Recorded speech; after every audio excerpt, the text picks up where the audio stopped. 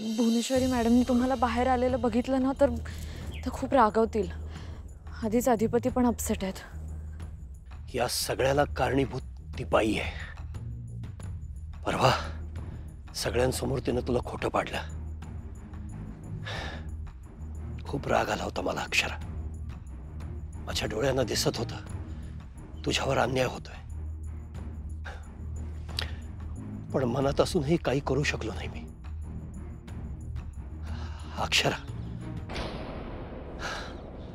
आता तू घाबरू नकोस. हा? तू लढ. तुला तुला जिथे बोलावं असं वाटेल तिथे बोल. मी तुझ्या बरोबर आहे. सत्यासाठी अशीच लढत राहा. अक्षरा या आमच्या आमच्या घराला तुझी गरज आहे पुरी. तुझी गरज आहे. आणि तू तू केपेबल आहेस. तुझ्याकडे बुद्धिमत्ता आहे. आणि महत्वाचं म्हणजे तुझ्याकडं शिक्षण आहे. त्या भुवनेश्वरीकडे ते नाही आहे शिक्षण नाही अडाणी पाहिजे ती. तिनं कितीही नाटकं केली तरी तू लढायचं. आकलेचा तोरा मिरवते ना ती. पण प्रत्यक्षात का कारस्थान करते कपट करते आणि सगळं काबीज करते. तू तू तिला घाबरायचं नाहीस. मी आहे तुझ्या बरोबर. मी मी ऐकलं मी बघितलं. तुझा आवाज दाबला ते ना हेच करते ती. आणि माझा आवाज तर गेली इतकी वर्ष तिनं दाबून दाबून ठेवलाय. अक्षरा त्या दिवशी तू काही चुकीचं ऐकलेलं नव्हतंस अक्षरा. ती ती मुद्दाम तुझ्या समोर चुकीचं बोलली. तुला ऐकू जाईल असं आणि नंतर तुला तिनं खो खोटं पाडलं. बाबा असं का बोलताय? मॅडम वाईट नाही आहेत वाईट हा शब्द कमी पडेल त्याच्यासाठी. नीच हा शब्द सुद्धा कमी आहे. असं असं का बोलताय बाबा? त्यांचा माझ्यावर राग आहे. पण मला असं वाटतं की तुमच्यावर अधिपतींवर प्रेम आहे त्यांचं. प्रेम? त्या त्या बाईला माणसांवरती प्र- प्रेम वगैरे करता येत नाही अक्षरा. म्हणजे? हे जे अधिपतीवर प्रेम असल्याचं ते भासवते ना? कारण माहितीये? कारण अधिपतीला तिनं जर काबीज केलं ना तर तिला या घरावर सत्ता मिळवता येईल. कारण अधिपती माझा वारस आहे. सत्ता आहे. तिच्या हातातला हुकमाचा इक्का आहे तो. बाबा तुम्ही हे असं स्वतःच्या स्वार्थासाठी ती बाई कुठल्याही थराला जाऊ शकते अक्षरा तिला तिला प्रेम, नाती, कशाचं काही पडलेलं नाहीये. हे सगळा दिखावा आहे, ही सगळी नाटकं चालली आहेत तिची. तिला काही वाटत नाही. तिला अधिपतीशी पण काही देणं घेणं नाहीये. उद्या वेळ आली ना, तर खरोखर अधिपतीला सुद्धा विष घालेल ती, मला विश्वास आहे.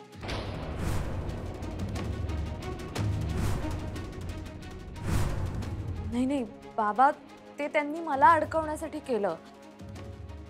असं कसं त्या अधिपतींना विष स्वतःच्याच मुलाला विष कसं देतील त्या? अधिपतींवर किती जीव आहे त्यांचा? आणि कुठली आई असं का करेल? खरंय. खरंय तुझं. कुठलीच आई असं करणार नाही. तेच तर. कुठली आई स्वतःच्या मुलावर विष प्रयोग का करेल? आई नाही पण भू भुवनेश्वरी करू शकते. म्हणजे तुम्ही म्हणताय आई करू शकत नाही पण भुवनेश्वरी मॅडम करू शकतात म्हणजे?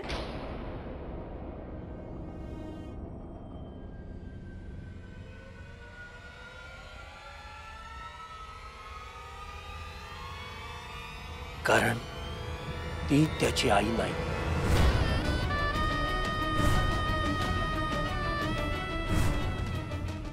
काय होय भुवनेश्वरी अधिपतीची खरी आई नाही।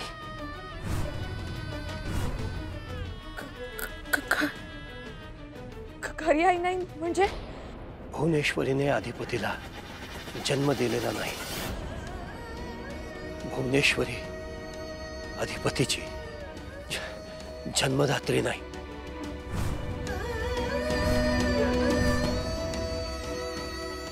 आई आहोत आम्ही तुमची। आई। कोण नाही म्हणले मग?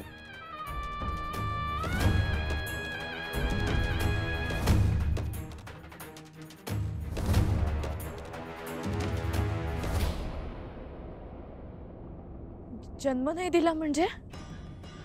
अक्षरा नऊ महिने आपल्या पोटात वाढवून जिने त्याला जन्म दिला. ती बाई भुवनेश्वरी नाही. बाबा तु- तुम्ही काय बोलताय बाबा? मी खरंच तेच बोलतोय अक्षरा.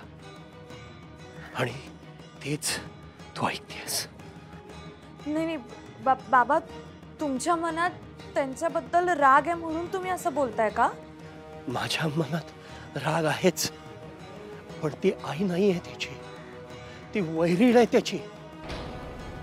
आणि हे मी फक्त मनातल्या रागापोटी बो- बोलत नाहीये. हेच खरं आहे. म्हणजे म- म- मला कळलं नाही. अधिपतींची केवढी भक्ती आहे त्यांच्यावर आणि आणि भुवनेश्वरी मॅडम त्या जगाशी कशाही वागतील पण अधिपतींवर किती जीव आहे त्यांचा. तरी सुद्धा ती अधिपतीची जन्मदात्री आई नाही. तुम्ही नाही म्हणताय. असं कसं? ओ तुमचा तुमच्या आईवर नाही. बायकोवर विश्वास आहे का? आमच्या मायेवर तुम्हाला शंका आहे का? तुम्हाला खरंच असं वाटतं आम्ही तुम्हाला इश देऊ? हा? काय तर बोलताय काय आई साहेब? सोनबाईंना का नाही कळत. का वागत्यात त्या असं? त्यांनी अजून आम्हाला ओळखलं नाही काय? त्यांच्या या अशा एका वागण्यामुळं आमचं अवसानच गळालंय. असं वाटलं की आम्ही या घरासाठी जे काय केलं त्याची माती झाली.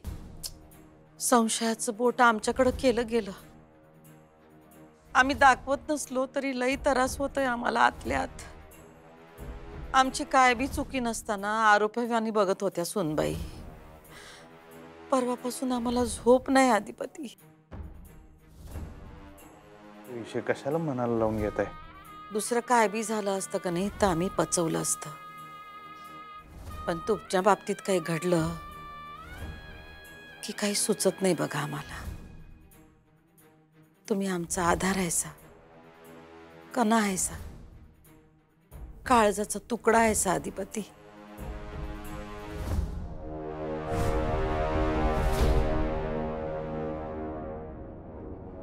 अधिपती काय बी झालं तरी आमच्या मायेबद्दल कधी शंका आणू नका. कारण तुमची आई होणं सगळ्यात मोठं सोक आहे आमच्यासाठी.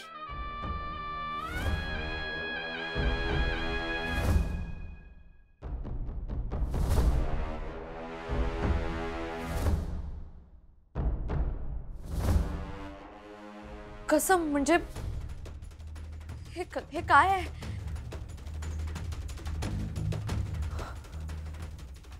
खूप मोठी स्टोरी आहे ती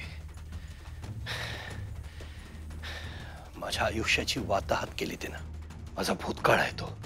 तो आठवला तरी अंग थरथरायला लागतं माझं। माझ्या आयुष्याची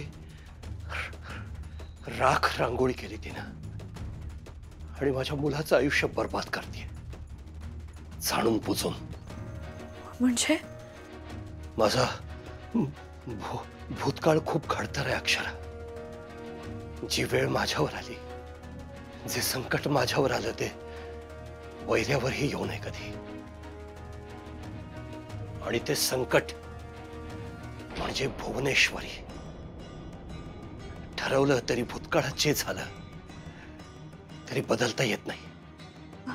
असं काय झालं बाबा भूतकाळात? ते सगळं आठवलं तरी मस्तकात तिडीक जाते माझ्या. असं वाटत. बाबा तुला त्रास होतोय का? त्रास होत असेल तर आपण आपण जाऊया का? थांब अक्षरा.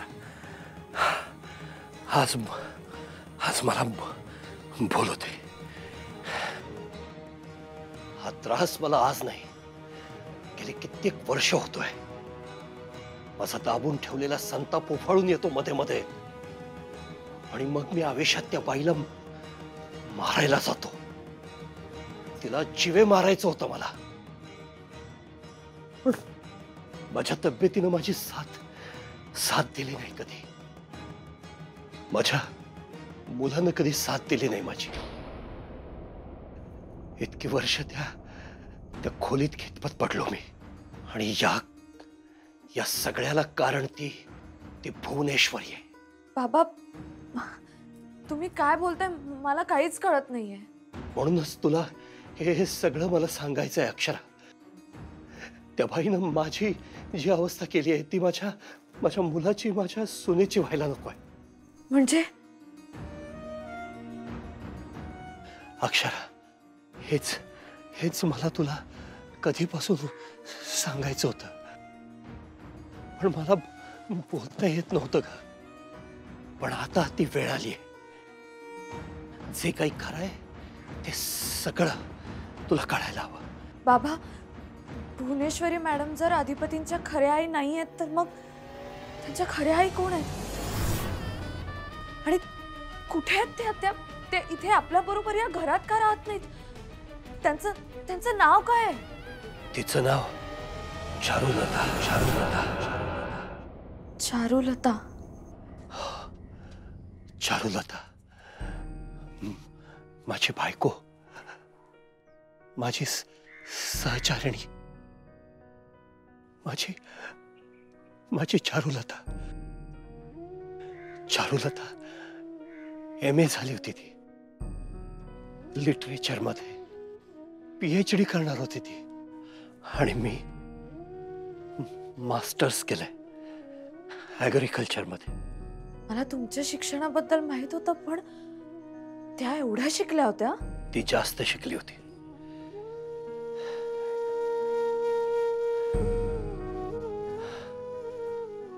अक्षरा या घराला शिक्षणाची परंपरा होती.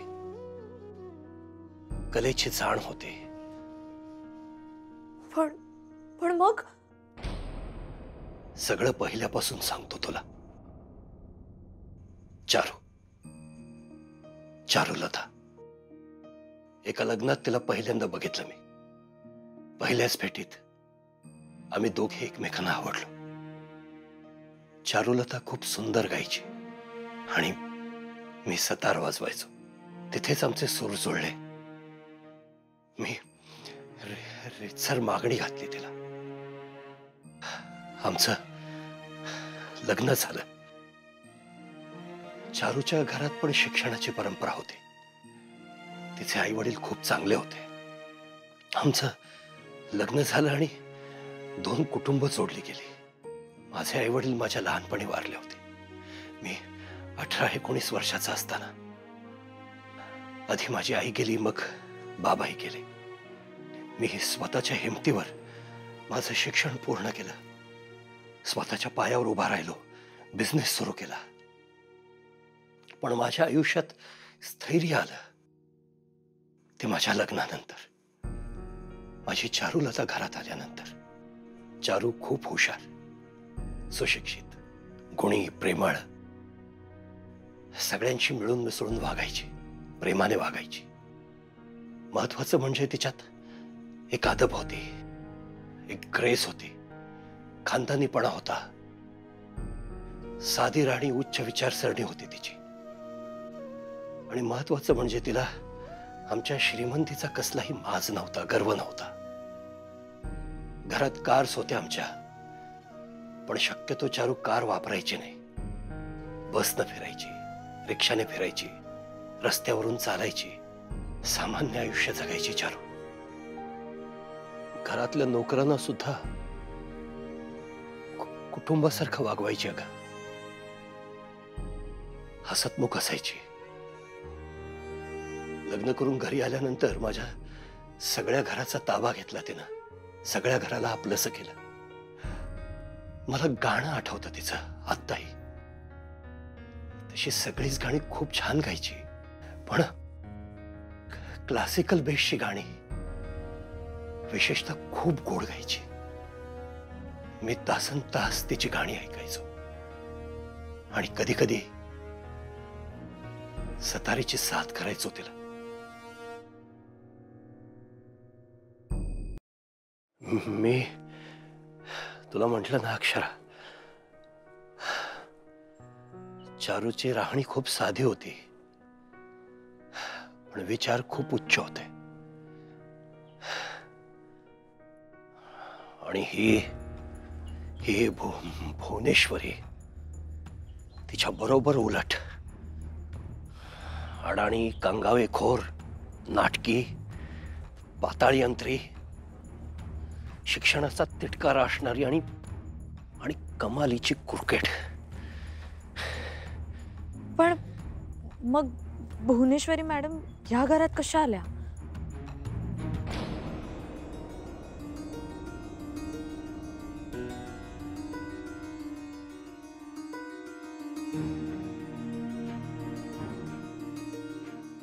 माझं दुर्दैव. म्हणजे? चारुलताचा आणि माझा सुखाचा संसार चालू होता. अगदी दृष्ट लागावी असा आम्हाला अधिपती झाला. तेव्हा तर आकाश ठेंगणं झालं होतं आम्हाला. चारुलता खूप आनंदात होती. अधिपतीनं खूप शिकावं अशी इच्छा होती चारुलताची ती सारखी म्हणायची आपण अधिपतीला खूप शिकवूया परदेशी पाठवूया. तो तो सायंटिस्ट दे. निदान उच्च शिक्षित दे. चारुलताला शिक्षणाचं खूप महत्त्व होतं. काय? हो. पण मग पुढे?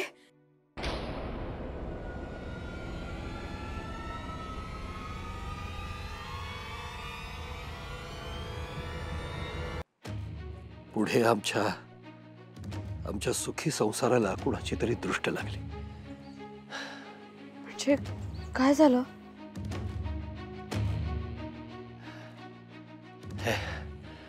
एकदा मी बेंगलोरला गेलो होतो चार पाच दिवसांसाठी. आणि नेमकं त्या काळात चारुलताच्या वडिलांची तब्येत बिघडली. चारुलताची आई तिच्या लहानपणीच गेली होती. त्यामुळे वडिलांचं सगळं ती बघायची. आता व- वडिलांची तब्येत बिघडली आहे म्हटल्यावर ती त्यांना भेटायला निघाली होती. त्याच वेळेला आमचा अधिपती आजारी पडला होता. चारू विवंचनेत होती की काय करावं. अधिपती आजारी होता त्याला प्रवासात घेऊन जाणं तिला शक्य नव्हतं म्हणून अधिपतीला तिनं पंढरीकडे सोपवलं. आणि ती एकटीच तिच्या बाबांना भेटायला निघून गेली. जुलै महिन्याचे दिवस होते. त्या दिवशी तर बेभान पाऊस होता. काय, कसं झालं माहिती नाही, पण चारू ज्या बसमधून जात होती, ती बस नदीच्या पात्रात कोसळली. कोणाला काही करता आलं नाही ग. सगळे प्रवासी वाहून गेले. काही बुडाले. मला ही बातमी कळल्यावर मी बेंगलोरवरून तातडीनं परत आलो. जिथं हा अपघात घडला होता, आम्ही तिथं गेलो. पोलिसांनी तिथल्या स्थानिक नागरिकांनी लोकांना शोधायचा प्रयत्न केला. डेड बॉडीज सापडल्या. एक डेड बॉडी चारुलताशी मिळती जुळती होती. मी बघितलं. चेहरा ओळखू येत नव्हता, पण साडी मंगळसूत्र चारूचं होतं. तिच्या अशा अचानक जाण्यानं मी पुरता उद्ध्वस्त झालो अक्षर. माझ्या अधिपतीकडे बघून मला सावरावं लागलं. त्याच्याकडे लक्ष देणं, त्याला बरा करणं, त्याला सावरणं माझ्यासाठी महत्वाचं होतं. मी अधिपतीकडे बघायचो, मला चारूचे शब्द आठवायचे. ह्याला खूप शिकवूया. सायंटिस्ट करूया. त्याला शिक्षणासाठी बाहेर पाठवूया. चारू माझ्या आयुष्यात नाहीये हे मला झेपतच नव्हतं. पण त्याच्या बरोबरीने ही जाणीव होती की माझ्यापेक्षा माझ्या अधिपतीचं दुःख मोठं आहे. मी चारूचे अंत्यसंस्कार केले. आणि तिचा तिचा फोटो माझ्या डोळ्यासमोर माझ्या खोलीमध्ये लावला. म्हणजे तुमच्या खोलीत जो फोटो आहे तो भुवनेश्वरी मॅडमचा नाहीये. नाही.